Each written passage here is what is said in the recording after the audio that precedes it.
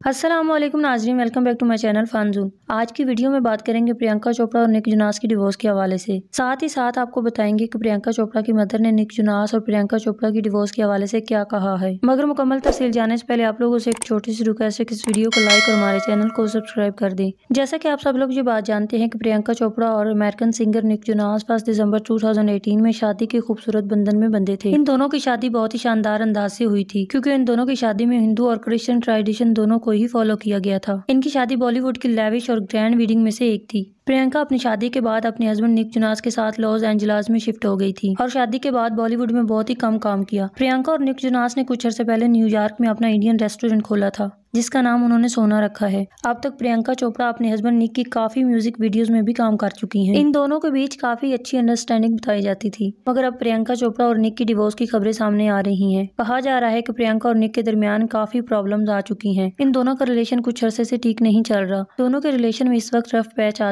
चुका है। प्रियंका चोपड़ा ने अपने सोशल मीडिया अकाउंट इंस्टाग्राम और ट्विटर से निक जुनास के नाम को भी रिमूव कर दिया है। अब इनका नाम खाली प्रियंका चोपड़ा है।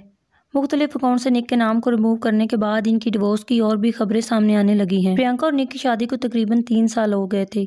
और इनका रिलेशन काफ़ी अच्छा चल रहा था। इनके कपल को ना सिर्फ़ इंडिया में, बल्कि अमेरिका में भी बहुत ज़्यादा पसंद किया जाता है। यही वजह है कि इनके फैंस प्रियंका चोपड़ा के नाम के सामने निक का नाम रिमूव करने पर काफ़ी शॉक्ड हैं। और इनके डिवोर्स के हवाले से काफ़ी परेशान भी हैं, क्योंकि वो इन दोनों के खूबसूरत कपल को ऐसे ब्रेक होता हुआ नहीं देख सकते। डिवोर्स के हवाले से इनके फैंस ने काफ़ी सवाल भी किए हैं, मगर प्रियंका ने इस हवाले से कोई बात नहीं की। लेकिन प्रियंका के मदर ने डिवोर्स की खबरों के बाद कहा है कि ये सब खबरें झूठी हैं।